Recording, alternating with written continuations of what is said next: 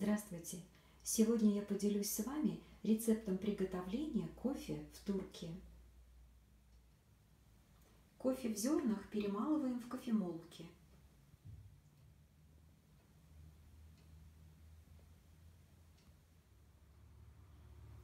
Две чайные ложки молотого кофе насыпаем в турку.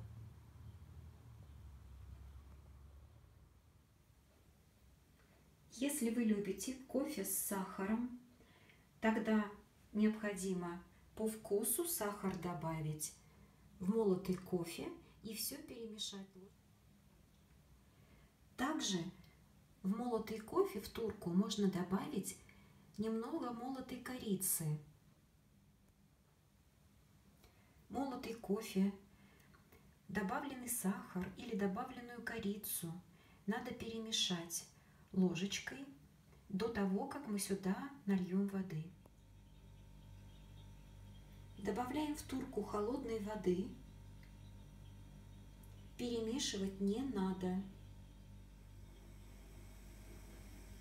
Ставим турку на плиту и на среднем огне будем варить кофе.